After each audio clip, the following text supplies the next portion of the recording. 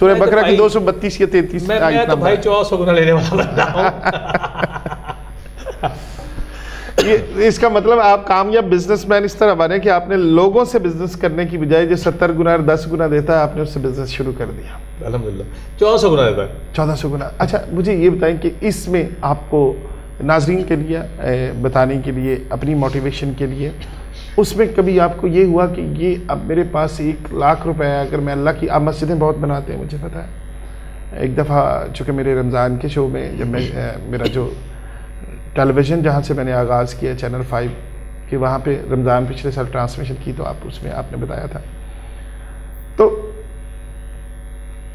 کبھی ایسا ہوا دل میں؟ مطلب شیطان وسوسے سے تو ڈالتا ہے کہ یار میں نے ستر دے تو دوں جو ہمارے ہاں ہر شخص کا تقریباً پرابلم ہوتا ہے کہ میرے پاس پچاس ہزار روپے ہے اگر میں یہ مسجد کو دے دوں یا کسی ضرورت مند کو دے دوں تو وہ پھر مجھے پتہ نہیں کب ملتے یا نہیں ملتے اس کا کیا حل ڈھونڈا؟ کبھی آیا ذہن میں؟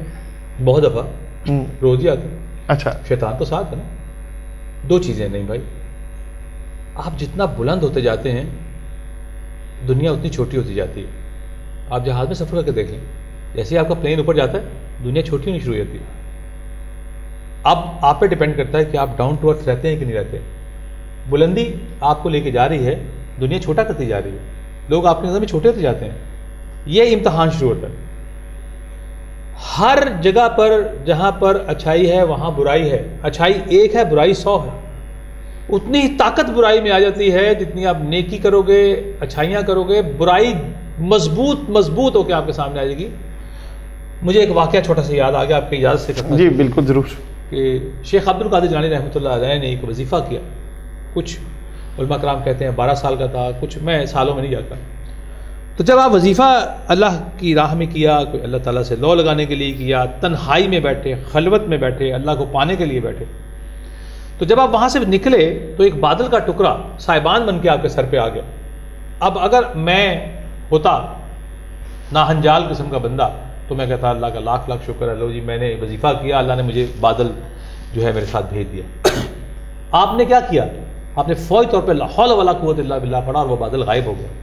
یعنی کہ شیطان میں بھی اتنی قوت آ گئی کہ جب آپ وظیفہ کر کے باہر نکلے کہ وہ آپ کو بہکا دے کہ دیکھ تو اتنا بڑا ہو گیا کہ اللہ نے تیرے لیے صاحبان مقرر کر دیا۔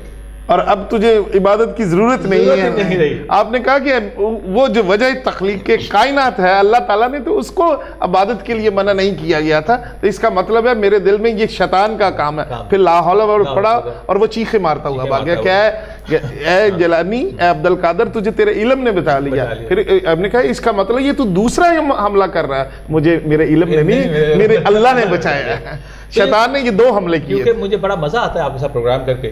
کیونکہ آپ بات میں شروع کرتا ہوں میرا بھائی سمجھ جاتا ہے۔ اللہ تعالیٰ آپ کے علم میں اور بلندی عطا فرمائے وسعت عطا فرمائے۔ اب دوسری بات یہ کہ کیونکہ آپ آپ جیسے سے بڑے جاتے ہو اتنے زیادہ آپ کے خلاف ایک لابی سرگرم ہو جاتی ہے۔ شیطان ان کو وہ چیزیں دکھا رہا ہوتا ہے جو آپ کے اگینسٹ جاری ہوتی ہیں۔ اگر آپ تھک جاؤ گے اگر آپ ان چیزوں سے ہار جاؤ گے شکست مان لو گے تو بلا شبہ آپ رائندہ درگاہ ہو جاؤ گے۔ آپ کو اسٹرگل کرنی ہے۔ نیکی کر کے پیچھے نہیں مڑنا۔ ایک چھوٹی سی بات آپ کے لیے کرتا چلوں۔ آپ کا سوال تھا وہ بیچ میں رہ گیا۔ میرے بچے یہاں پڑھتے ہیں ایک مقامی اسکول میں۔ تو وہاں پر جو پرنسپل تھیں ان کا نام تھا طاہرہ خالد۔ ہمارے ایک جنرل ٹکا خان ہوا کرتے تھے۔ وہ ان کی۔ بہو تھی میں اس لیے بتا رہا ہوں تاکہ آپ ان کو بھی پتہ لگے میں ان کا ذکر کر رہا ہوں۔ بالکل ٹھیک ہے۔ میری سب سے چھوٹی بیٹی اس وقت فور ایئرس کی تھی یا فائیو ایئرس کی تھی۔ اب خیر سے اس کی شادی ہو چکی اس کی بھی۔ تو میں اس کو اسکول چھوڑ کے واپس آیا تو وہ چوک ہے جہاں گلبرگ میں اسے کہتے ہیں منی مارکیٹ۔ جب میں وہاں پہنچا تو مجھے خیال آیا کہ جیسے میری بیٹی کو کوئی چوٹ لگ گئی۔ ایک وہم میرے دل میں آیا۔ جسٹ ایک کلو میٹر آیا۔ وہ اتنا مضبوط وہم میرے اندر آیا کہ میں نے گاڑی موڑ لی۔ جب میں نے گاڑی موڑی اور میں واپس اسکول گیا تو طاہرہ خالد باہر آ رہی ہیں، زبیر بھائی، میں آپ ہی کو کال کرنے لگی تھی۔ میں نے کہا، لو جی چوٹ لگی ہنڈریڈ پرسینٹ اور مجھے جو ہے، اللہ تعالیٰ نے بتا دیا کہ وہ آئی مجھے کہتی ہیں کہ زبیر بھائی، ہماری ایک میڈ ہے، اس کا ہسبینڈ کرنٹ لگنے مر گیا۔ اس کی ڈیڈ باڈی کو ساہی وال لے کے جانا ہے۔ میں نے سوچا، آپ کو بلاؤں کہ مدد کرتے ہیں اس اب میں تھوڑا ریلیکس ہو گیا، لیکن ریلیکس اپنی بیٹی کی اتنی بڑی موت ہو گئی، انسان ہے۔ لیکن مجھے فوراً خیال آیا کہ یار وہاں تو موت ہو گئی ہے، اور تو سب اس بات پہ کہ تیری بیٹی کو چوٹ نہیں لگی؟ پہلا تو یہ، ایک شوق۔ پھر میری جیب میں کتنے پیسے تھے مجھے نہیں پتا۔ وہ دس ہزار تھے، پچاس ہزار تھے، سات ہزار تھے، کچھ چیزیں صبح صبح میں نے جیب میں ڈالے، وہ سارے میں نے نکالے اور ان کو دے دیا اور میرے پاس پیسہ کوئی نہیں رہا۔ جب میں گاڑی موڑ رہا ہوں تو مجھے شیطان کہتا ہے کہ یار تم نے سارے پیسے اس کو دے دیے، گن لیتا کو دو ہزار پانچ ہزار دیتا، باقی رکھ لیتا، گاڑی خراب ہو جائے، یہ ہو جائے، وہ ہو جائے۔ تو لیکن وہ طاقت جو میرے اندر میرے رب نے دی ہے، اس نے مجھے فوراً کہا کہ نہیں۔ لاہور کی اس وقت اسی لاکھ کی آبادی ہے۔ رب نے تجھے منتخب کیا اس کی مدد کے لیے۔ تجھے وہاں سے بلایا واپس۔ تو پیسے گن رہا ہے۔ تو سوچ کے تجھے بلایا کس نے؟ تو اسے کام کروا کون رہا ہے؟ جب یہ بات میرے اندر آئی تو میرا ایسے کلیجہ ٹھنڈا ہو گیا۔ ریلیکس ہو گیا۔ میں نے کہا، واہ، کمال، کام ہو گیا۔ تو یہ بات یہ ہے کہ بلا شبہ آپ کے دل میں وہم آتا ہے۔ لیکن اگر آپ مضبوط ہوں آپ کو اس کا یقین کام. توکل تو اللہ. توکل توکل پورا ہوا آپ کا. اچھا اس سے آپ کو مطلب کوئی ایسا واقعہ جس مطلب انسٹنٹ آپ نے ابھی یہاں پہ اس کے ساتھ بزنس کیا اس مالک کے ساتھ جو دو جہانوں کے وہ پتھر میں کیڑا اس کو بے رزق دیتا ہے؟ تو کبھی یہ ہوا کہ آپ کا دل چاہیے انسٹنٹ ہو جائے کوئی ایسا واقعہ کہ اب بڑا لیٹ ہو گیا اللہ تھا بزنس کیا دس گنا ملنا تھا دنیا میں تو ابھی تک نہیں آیا۔ تو مطلب یہ ہوا پھر آپ کو کوئی ایسا واقعہ؟ نہیں میں ایک اور آپ کو واقعہ سنا تھا ایسا تو کیونکہ اب بڈھا ہو گیا ہوں بڑا مضبوط ہو گیا توکل میرا اور لینے دینے کے معاملے میں کچھ معاملات بدل گئے اور اب امتحان بھی بڑے شروع ہو گئے۔ امتحان جب آپ نے تیسری جماعت میں پڑھنا ہوتا ہے تو کتابیں تیسری کی آتے ہیں۔ جب آپ ماسٹر کر رہے ہوتے ہیں تو پھر آپ کے لیے بڑے امتحان۔ چھٹی نہیں ملتی جس میں یاد سب یاد کر لیتا ہے اب امتحانات بڑے شروع ہو گئے اللہ تعالیٰ ہمیں اس میں نکال کر کے ایک چھوٹا سا واقعہ بیان کرتا جاؤں گا اور بڑا روحانی ٹچ ہے اس واقعے میں۔ اور کیونکہ واقعہ ایسا ہے بینگ اے مسلم میں اپنے ساتھیوں کو آپ کو بتانا چاہتا ہوں کہ مجھے شوق ہے میں اللہ کے گھر جاتا ہوں۔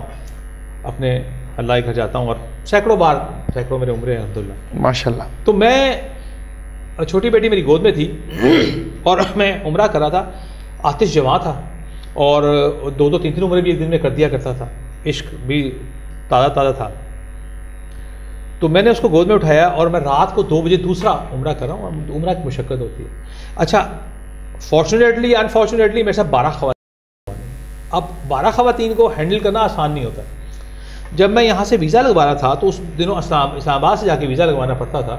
تو وہ جو کونسلیٹ تھا، اس نے کہا، یار، تو ٹوئنٹی سیون ایئر کا بچہ ہے اور تیرے ساتھ بارہ عورتیں کیسے ہینڈل کرے گا؟ تیرا ویزا تو نہیں لگ سکتا تو میں نے اس کے پاسپورٹ کو کہا، یار، جس نے مجھے بلایا ہے نا، اگر وہ مجھے بلا رہا ہے تو تو میرا ویزا نہیں روک سکتا اور اگر وہاں سے بلاوا نہیں ہے تو میرا ویزا لگے گا نہیں۔